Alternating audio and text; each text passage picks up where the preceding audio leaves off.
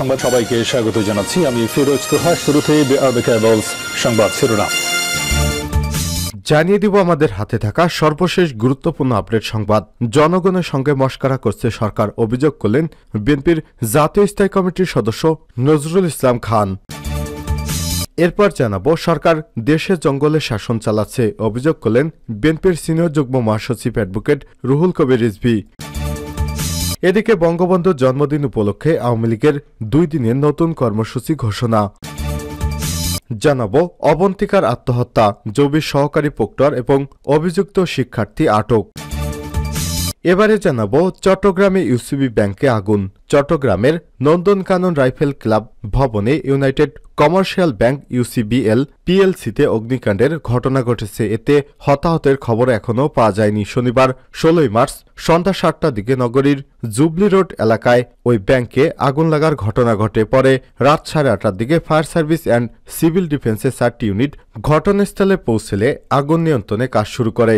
চট্টগ্রাম কেন্দ্রীয় ফায়ার সার্ভিসের control room থেকে এসব তথ্য জানানো হয়েছে। এবং সর্বশেষ জানিয়ে দিব ভারতের লোকসভা নির্বাচন সাত দফায় দেড় মাস চলবে ভোট।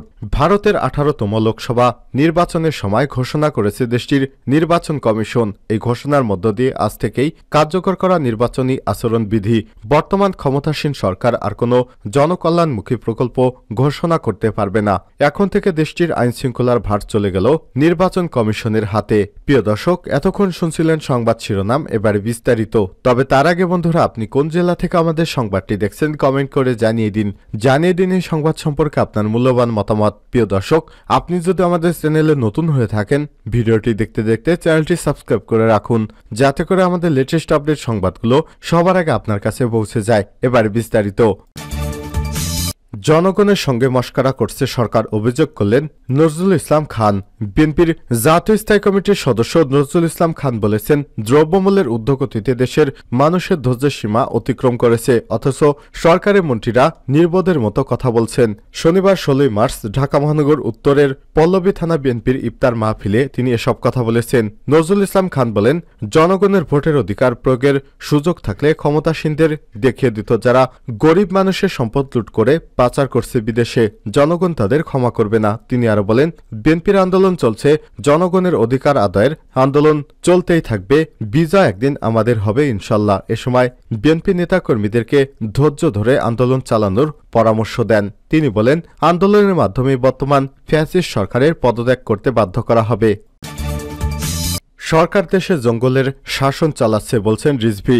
সরকার দেশে জঙ্গলের শাসন চালাচ্ছে বলে মন্তব্য করেছেন বিএনপির সিনিয়র যুগ্ম মহাসচিব অ্যাডভোকেট রুহুল কবির রিজভি। শনিবার ষোলোই মার্চ দুপুরে রাজধানী নয়াপল্টনে বিএনপির কেন্দ্রীয় কার্যালয়ের সামনে এক সমাবেশে সব মন্তব্য করেছেন তিনি। এ সময় বিএনপি নেতাকর্মীদের গ্রেপ্তার নির্যাতনের চিত্র তুলে ধরেন রুহুল কবির রিজভি। তিনি বলেন, বর্তমানে প্রত্যেকটি কারাগার হচ্ছে শেখ হাসিনার বন্দিশালা। এখানে আইন কানুন কোনো কিছুরই দরকার নেই। তিনি যদি মনে করেন কাকে কারাগারে রাখতে চান, সে কারাগারে থাকবে। তার শাসনের বিরুদ্ধে কথা বললেই তাকে কারাগারে যেতে হবে। রিজভি আরও বলেন, এদেশে জঙ্গলের শাসন চলছে, বন জঙ্গলের আইনে দেশ চলছে, এভাবে দেশ চলতে পারে না। এই বন জঙ্গলের আইন, এই দুঃশাসন শেকড় সহ উপরে ফেলতে হবে, এজন্য সবাইকে সর্বাত্মক প্রস্তুতি নিতে হবে। গত আঠাশে অক্টোবর নয়াপল্টনে বিএনপির মহাসমাবেশ ঘিরে গ্রেপ্তারের প্রসঙ্গ টেনে রিজভি বলেন, এক দেশে দুই আইন, এই মামলায় মহাসচিব সহ শাহজাহান ওমর গ্রেপ্তার হয়েছেন। কি দেখা গেল? শাহজাহান ওমর তিনি হলেন তলে তলে শেখ হাসিনার সাথে যোগাযোগ করেছেন তিনি। কারাগার থেকে বেরিয়ে এসে আওয়ামী লীগের টিকিট নিয়ে এমপি হয়েছেন আর একই মামলায় কারাগারে থাকতে হয়েছে বিএনপির মহাসচিব মির্জা ফখরুল ইসলাম আলমগীর স্যারকে। মির্জা আব্বাস, আমির খসরু মোহাম্মদ চৌধুরী সহ বিএনপির নেতারা কারাগারে থেকেছেন। এই হচ্ছে আইন, এই হচ্ছে কানুন।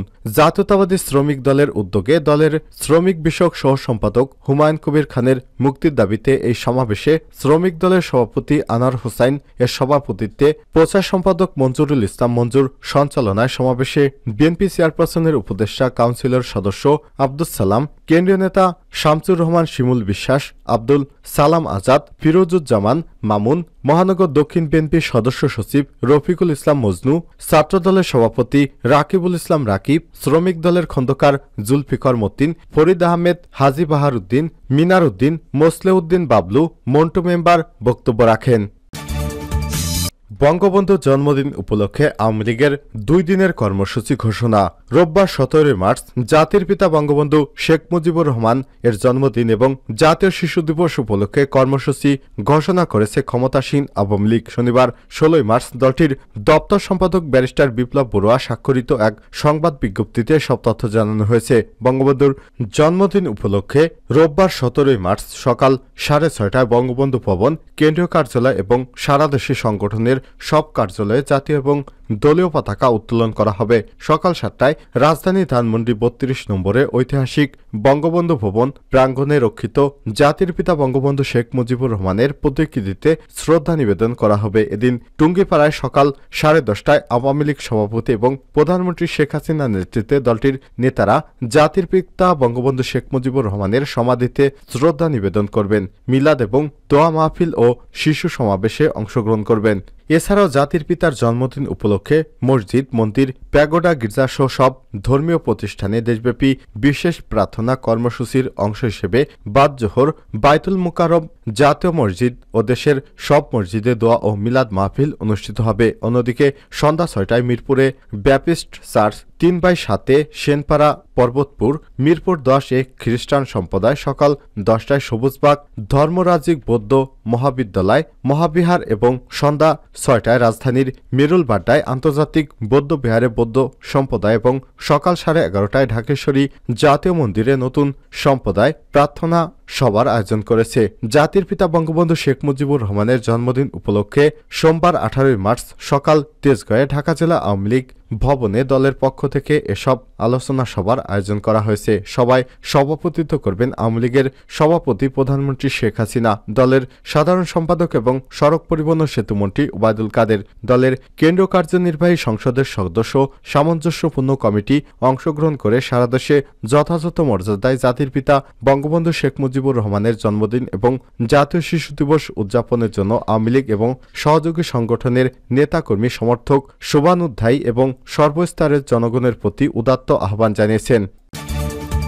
অবন্তিকার আত্মহত্যা জবি সহকারী প্রক্টর এবং অভিযুক্ত শিক্ষার্থী আটক। জগন্নাথ বিশ্ববিদ্যালয়ের জবি আইন বিভাগের শিক্ষার্থী ফৈরুজ অবন্তিকার আত্মহত্যার ঘটনায় বিশ্ববিদ্যালয়ের সহকারী প্রক্টর দিন ইসলাম এবং সৌপাঠী আম্মান সিদ্দিকিকে আটক করেছে পুলিশ শনিবার, ষোলোই মার্চ রাতে সব তথ্য নিশ্চিত করেছে ডিএমপি কমিশনার হাবিবুর রহমান। জানা গেছে, আম্মান সিদ্দিক এবং দিন ইসলামকে পুলিশ হেফাজতে নেওয়া হয়েছে। কুমিল্লা পুলিশের কাছে তাদেরকে হস্তান্তর করা হবে।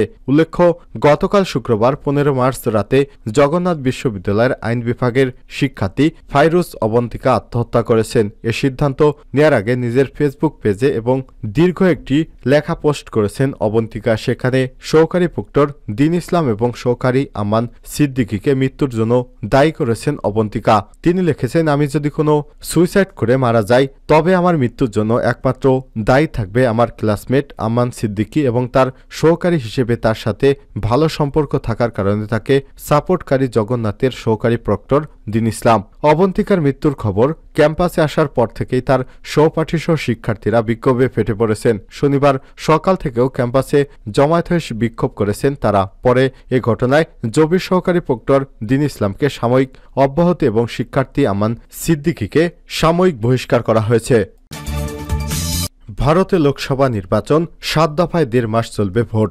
ভারতে আঠারোতম লোকসভা নির্বাচনের সময় ঘোষণা করেছে দেশটির নির্বাচন কমিশন। এই ঘোষণার মধ্য দিয়ে আজ থেকেই কার্যকর নির্বাচনী আচরণ বিধি বর্তমান ক্ষমতাসীন সরকার আর কোনো জনকল্যাণমুখী প্রকল্প ঘোষণা করতে পারবে না। এখন থেকে দেশটির আইন শৃঙ্খলার ভার চলে গেলেও নির্বাচন কমিশনের হাতে। ইডি, সিবিআইয়ের মতো কেন্দ্রীয় এজেন্সির নিয়ন্ত্রণও ভোট প্রক্রিয়া শেষ না হওয়া পর্যন্ত চলে যাবে কমিশনের হাতে। মুখ্য নির্বাচন কমিশনার রাজীব কুমার বলেছেন, সাত দফায় দেশের পাঁচশো তেতাল্লিশ আসনে লোকসভা নির্বাচন অনুষ্ঠিত হবে। মনোনয়ন জমা দেওয়ার শেষ দিন পঁচিশে এপ্রিল তা যাচাই বাছাই করা হবে ছাব্বিশে এপ্রিল। মনোনয়ন তুলে নেওয়ার শেষ দিন উনত্রিশে এপ্রিল এবং উনিশে এপ্রিল প্রথম দফার ভোট। সুষ্ঠু নির্বাচনের জন্য সব রকমের প্রচেষ্টা রয়েছে উল্লেখ করে রাজীব কুমার বলেছেন, ভোটে যতদূর সম্ভব কেন্দ্রীয় বাহিনী ব্যবহার করা হবে, মোট একুশশো পর্যবেক্ষক নিয়োগ দেওয়া হচ্ছে। তারাই বাহিনী নিয়োগ করবেন। কোনো রাজ্যে কোনো চুক্তিভিত্তিক কর্মীকে ভোটের কাজে ব্যবহার করা যাবে না। সোশ্যাল মিডিয়া, টেলিভিশনে নজর রাখা হবে।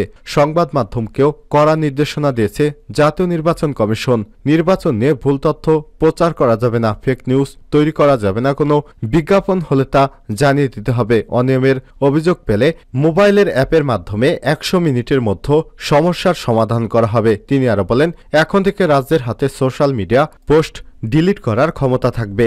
লোকসভা নির্বাচনের প্রচারে কোনোভাবে শিশুদের ব্যবহার করা যাবে না। তারকা প্রচারে নামলে তাকেও নির্বাচন কমিশনের গাইডলাইন নোটিশ দিতে হবে। ইস্যুভিত্তিক প্রচার হোক কিন্তু ঘৃণামূলক মন্তব্য, ব্যক্তিগত জীবন আক্রমণ করা চলবে না। তিনি আরও বলেন, এবারের নির্বাচন থেকে পাঁচশো সাঁত্রিশ দলকে বের করা হয়েছে, যার প্রার্থী দেওয়ার পাশাপাশি অন্য দলের গাড়ি ব্যবহার করত এমন দলকে এবার নির্বাচন থেকে বের করে দেওয়া হয়েছে। আর্থিক লেনদেন, ডিজিটাল রেকর্ড থাকবে কমিশনের কাছে। ভারতে এবার নারী ভোটার বৃদ্ধি পেয়েছে সাতানব্বই শতাংশ। এই মুহূর্তে দেশে প্রায় ছিয়ানব্বই কোটি আশি লক্ষ ভোটার রয়েছে। নতুন ভোটার প্রায় এক কোটি আশি লক্ষ। যুব ভোটারের সংখ্যা বিশ থেকে উনত্রিশ বছর বয়সী। মোট পুরুষ ভোটার রয়েছে উনপঞ্চাশ কোটি সত্তর লক্ষ এবং নারী ভোটার রয়েছে সাতচল্লিশ কোটি দশ লক্ষ। তৃতীয় লিঙ্গ বা ট্রান্সজেন্ডার ভোটারের সংখ্যা প্রায় আটচল্লিশ হাজার। ভোটকেন্দ্রের সংখ্যা প্রায় দশ লক্ষ। ভারতের নির্বাচনে এবছর ইভিএম ব্যবহার করা হবে পঞ্চান্ন লক্ষ।